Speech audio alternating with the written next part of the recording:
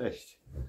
W dzisiejszym materiale pokażę Wam, jak wygląda życie na obozie sportowym. Każdy poranek zaczyna się tak samo, wstajemy około 6.30 i zazwyczaj w kuchni jest taki widok. Head, Jedziemy do Wsianką. head, head chef przygotowuje owsiankę. Poranki wyglądają zazwyczaj bardzo podobnie.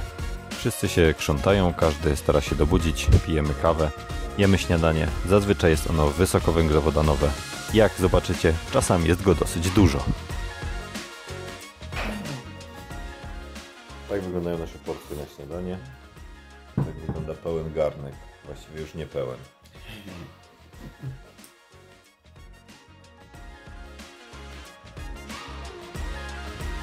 Śniadanie upływa nam zazwyczaj na rozmowach, na dyskusji, na ustalaniu planu dnia, na rozmowie o treningu lub o różnych innych przyziemnych rzeczach, które nas poruszają.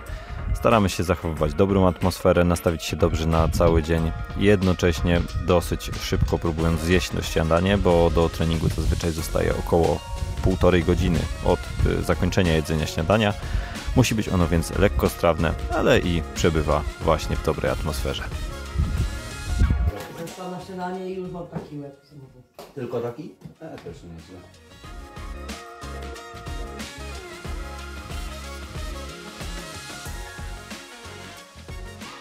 Poruszamy zazwyczaj e, różne tematy. Jak zaraz usłyszycie, ciągną się one od koligacji rodzinnych aż po kwestie treningowe. Także jest czasami dużo śmiechu. Motywacyjny ten bilet! Ja, ja, Chyba majski nie ja zrobić- wróciłem raz, ja wróciłem raz z obozu. a Ona mieszka w Niepołomicach. Ja tych wszystkich koligacji i tej całej reszty religii rozkminiał. Ja mam na przykład, moja mama ma kuzyna i córka tego kuzyna, który jest dla mnie. W ten sposób. Podu pochodzi, tak? Tak, No właśnie, ludzie ze wschodu u mnie jak na mieszkali babci mojej to Do śmiechu moi dziadkowie o, oboje. y, Jedni drodzy są z Ukrainy, nie? Na Ukrainie mieszkali od siebie 10 km. I zjedzone. Po śniadaniu zazwyczaj ogarniamy rzeczy na trening, przygotowujemy sobie jedzenie, flaski. Osoba, która jest wyznaczona do sprzątania, myje naczynia. Reszta zajmuje się sobą. Po śniadaniu zaczynamy przygotowywanie naszych odżywek na trening, żywienia okołotreningowego. Każdy z nas ma swoje rytuały, każdy z nas ma swoje ilości.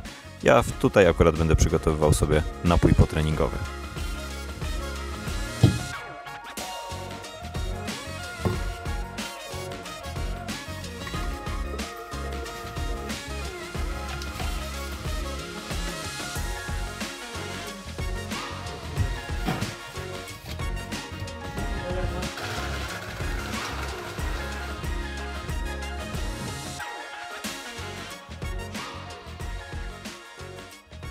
Na ten trening zabieram ze sobą pół litra płynów z węglowodanami, dwa żele, czyli około 50 gramów węglowodanów, napój potreningowy i elektrolity do wypicia po treningu.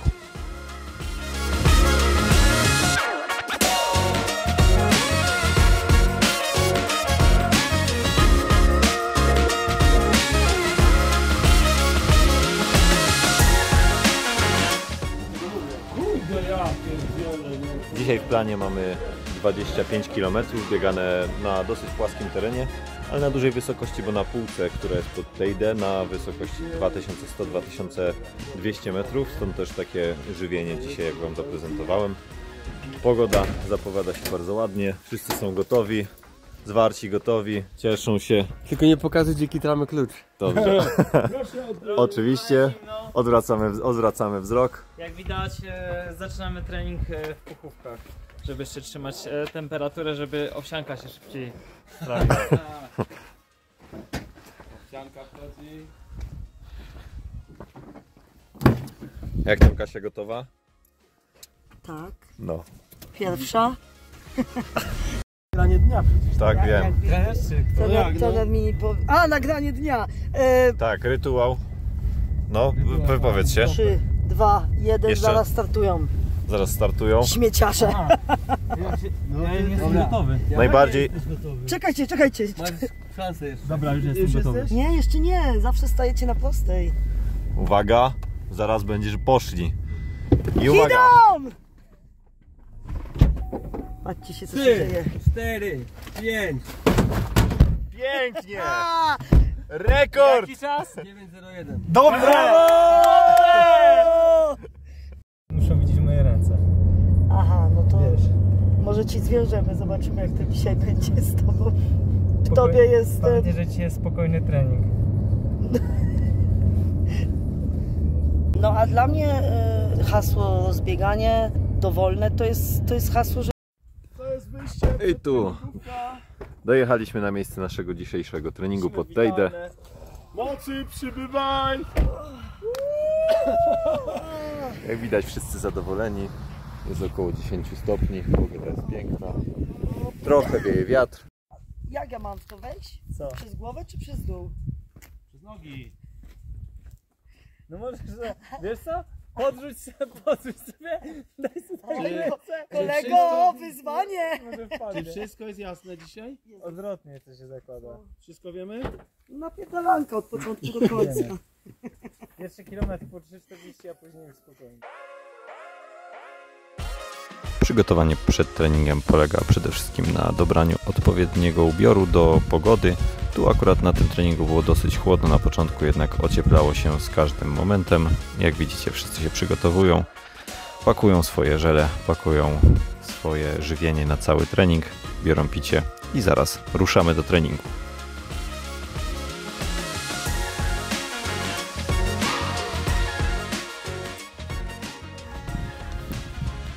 Założeniach dzisiaj biegamy bardzo spokojnie. Chyba, że ktoś się przypali.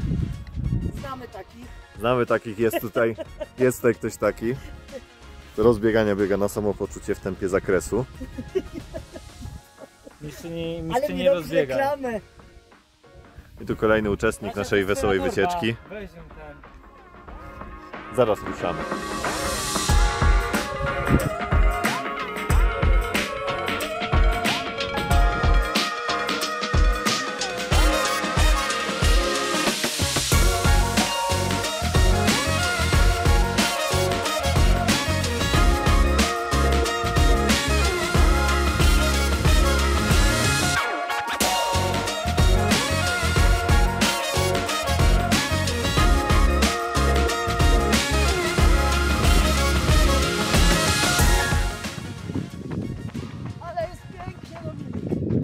Cieszę się.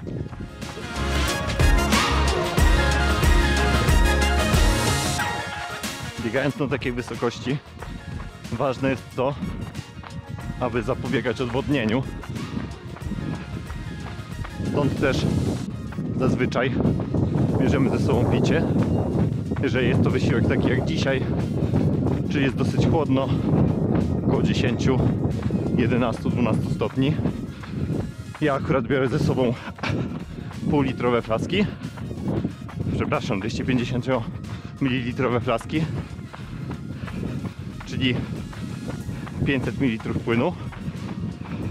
Są tutaj rozpuszczone elektrolity, węglowodany i do tego, biorąc pod uwagę, że dzisiejszy wysiłek będzie trwał około 2 godzin, 2 godzin 10 minut, mam jeszcze dwa żele, więc łącznie będzie to 60 gramów węglowodanów na godzinę, połowa w formie płynnej i połowa w formie żeli.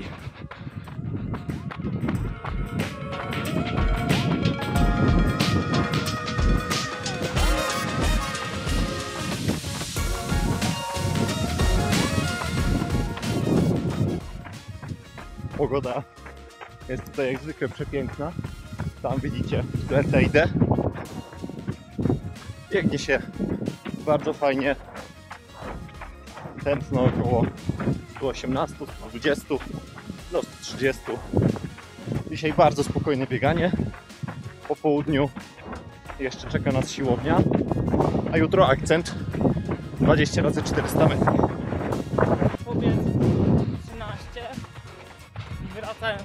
Direto.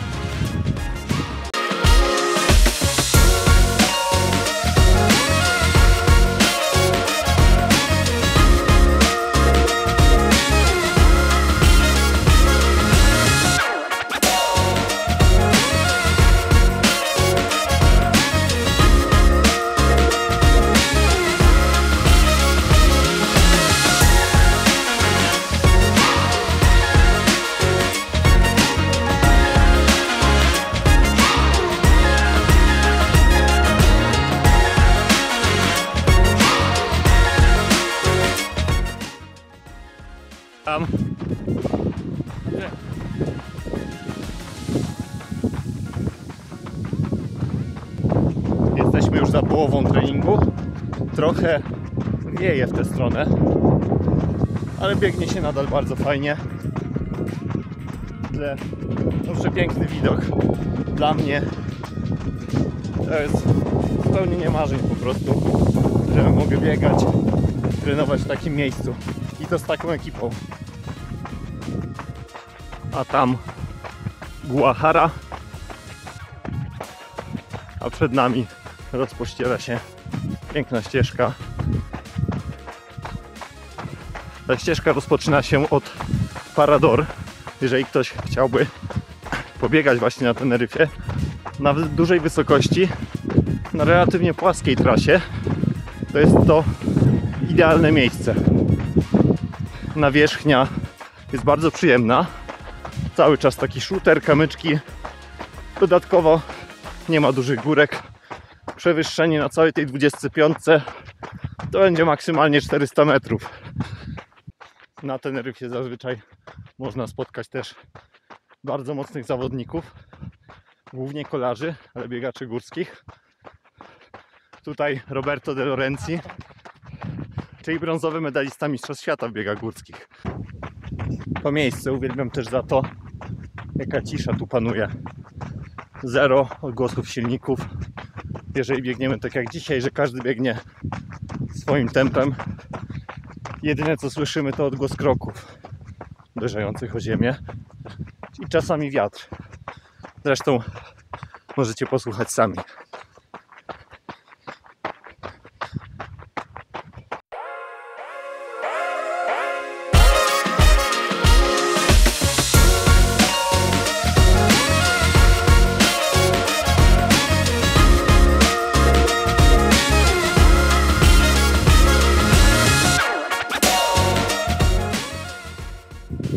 Zakończony. 25 km, średnie ten na 129. E, Jeżeli chodzi o, o tempo, to było 4,49. Biegało się naprawdę fajnie, spokojnie. Regeneracja, później jeszcze 6 rytmów po 100 metrów, tak żeby troszkę rozkręcić nogi, trochę złapać tego napięcia. I teraz zaczynamy jedną z najważniejszych tak naprawdę części treningu, czyli część regeneracyjną, bo tak naprawdę od tego, jak się regenerujemy, zależy to, jak możemy wykonać kolejny ciężki akcent. I no, zobaczycie, jak to u nas wygląda. E, pokażę Wam, jak spędzamy ten czas pomiędzy treningami, jak wygląda posiłek potreningowy, jak wygląda obiad i jak żyjemy w tym czasie właśnie, jak łączymy też naszą pracę. Każdy z nas pracuje e, zdalnie, można powiedzieć, pomiędzy treningami, więc to będzie następna część naszego dnia, później siłownia i jutro akcent. Dobiegają Bartek z Kamilem. Zawsze tak, zawsze tak wygląda. Poprawia się, yy, drapie, cały czas. To? Widzimy to? Ile Wam jeszcze zostało? Zrobiliście?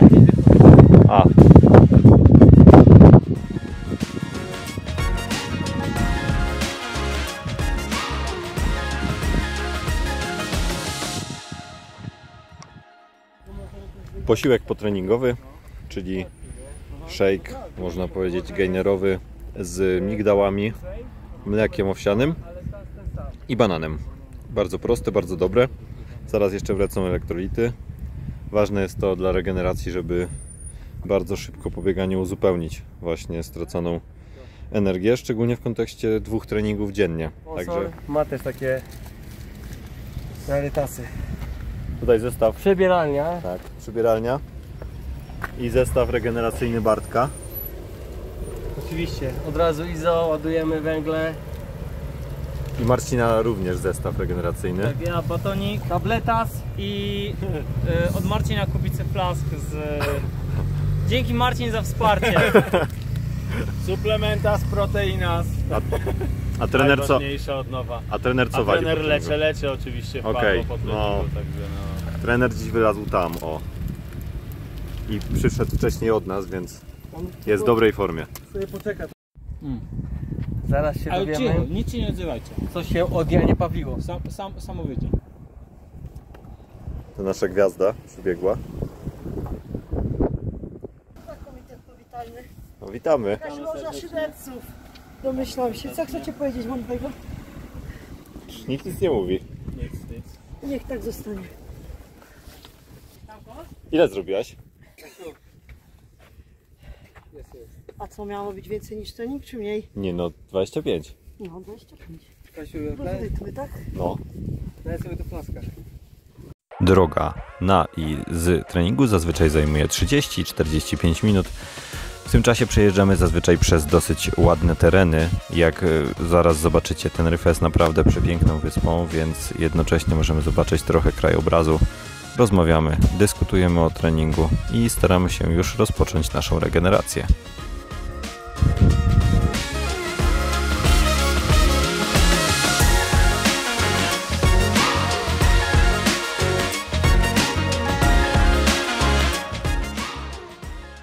Weź jego szansy jeszcze. A ładnie podkręcona na zalotce dzisiaj. Co tam takiej szansy? To, to, to akurat zachowam na przykład. Po co facetowi takie rzęsy? Żeby, żeby się Kasia pytała. O, no to jest jakiś powód, nie?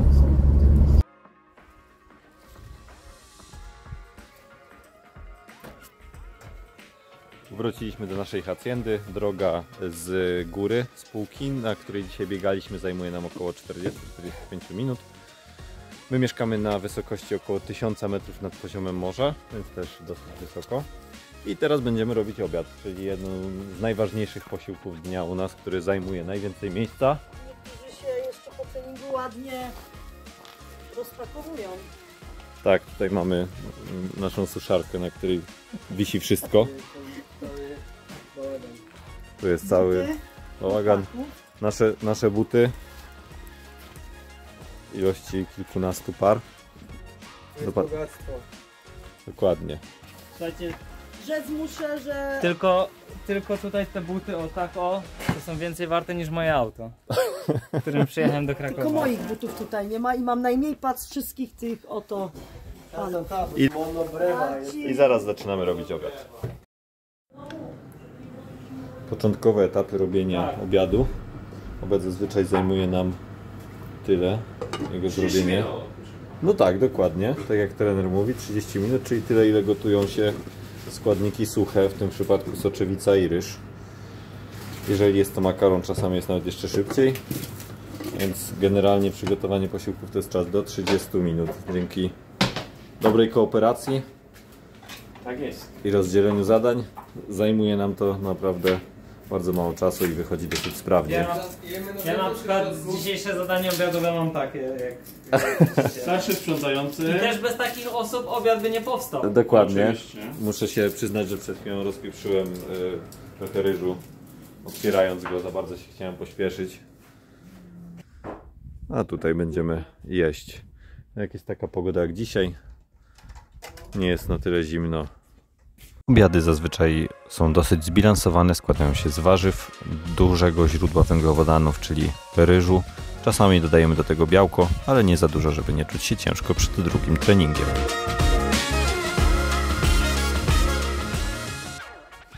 Tutaj nie widać, bo perspektywa pewnie zaburza, ale tak wygląda porcja dla pięciu osób. Jest tego dosyć sporo. 400 gramów ponad soczewicy, około 400 gramów, 300-400 gramów ryżu, marchewka, cebula, akurat tutaj cukinia, ponieważ nie mieliśmy papryki czerwonej. Oprócz tego jeszcze pietruszka,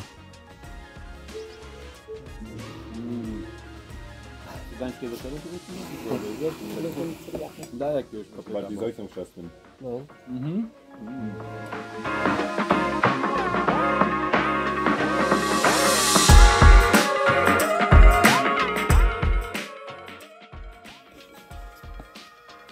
Czas pomiędzy obiadem a kolejnym treningiem każdy spędza w inny sposób.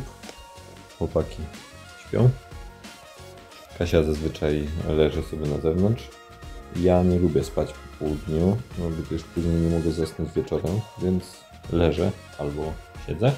Jednocześnie często pracuję, robię rzeczy związane z mediami społecznościowymi, ogarniam papiery firmowe, wszystkie te rzeczy, które wymagają mojej uwagi.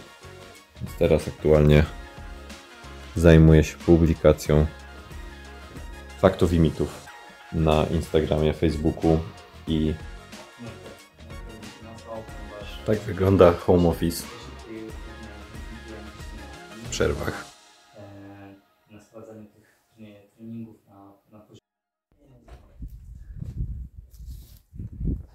Zbieramy się na drugi trening. Mieliśmy odstępu około 5 godzin pomiędzy zakończeniem pierwszego a początkiem drugiego. Drugi trening będzie typowo pobudzeniowy, siłowy. Jedziemy na siłownię przed jutrzejszym akcentem. Jak nastawienie? Bardzo dobrze. Lubisz ja siłownię? i siłka to krótka piłka. Czy nie, że się tak wdał, wiesz, w to, y, w to chodzenie.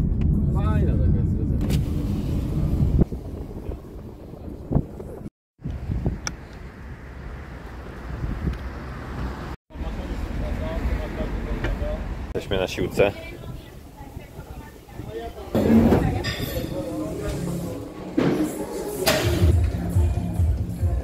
I już kręcą. 800 watów. Influencerzy. Telefon. Pierwsze co na siłowni to telefon. A nie białko albo kreatyna. 500 watów jest rady.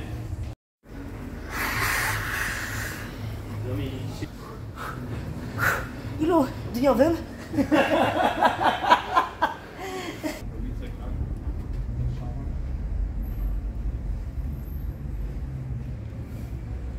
O! Rozgrzewkę, do góry na dół. No kurde. 15 razy. I machasz tam do wszystkich.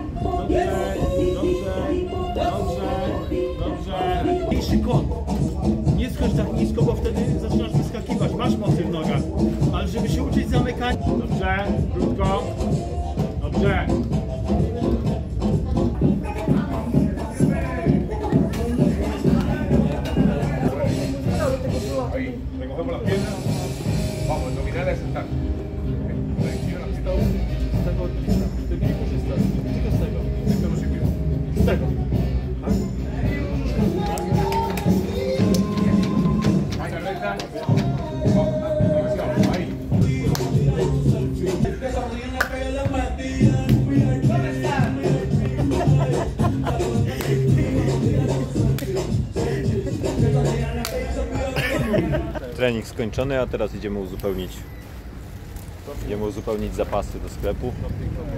Jak widzieliście, przyjadamy ogromne ilości jedzenia. Tylko kawałeczek spróbować. O, tutaj przykład. Ciągłe jedzenie. Jedzenie podstawą regeneracji. Inaczej się nie da, prawda? Tak. Dobra, fama. O, leczę. Cała taśma nasza.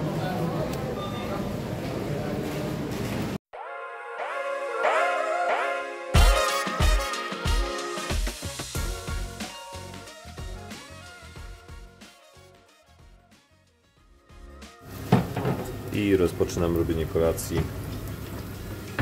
Kooperacja. A reszta już rozpakowała zakupy. Kolacja z założenia jest posiłkiem, który ma przygotowywać nas też do dnia następnego, a więc jest bogata w węglowodany, białka, tłuszcze, też już nie obciążają one naszego żołądka przed następnym treningiem. Jednocześnie staramy się dorzucić nieco smaczniejszych rzeczy, czasami dojadamy, czasami pojawia się przy kolacji też wino. Jest to generalnie rozluźniający, relaksujący moment w naszym dniu.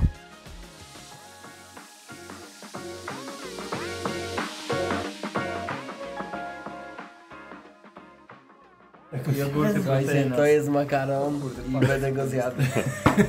To jest narzewek końcowy. Wygląda dosyć, dosyć ładnie.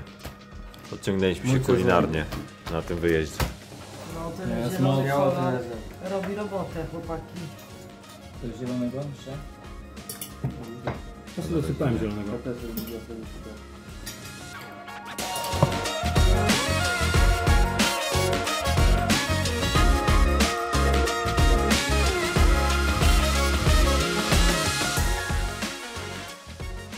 Po kolacji albo jeszcze trochę pracujemy, albo tak jak tutaj gramy w gry planszowe. Dzień po kolacji chodzimy spać około godziny 22. Wstajemy, jak widzieliście, około 6.30, 6.50. Jutro ciężki trening, więc trzeba się wyspać. Do zobaczenia w następnych materiałach, również z Teneryfy, w których pokażę Wam dni, w których robimy cięższe treningi. A tymczasem zapraszam Was do subskrypcji kanału, do komentowania, jeżeli coś Was interesuje, o coś chcielibyście zapytać chłopaków, czy też Kasi bądź trenera, przekażcie w komentarzu. Ja postaram się przekazać im Wasze pytania i odpowiedzieć na nie w przyszłości. Tymczasem trzymajcie się i dobranoc. Nie mówię, nie mówię.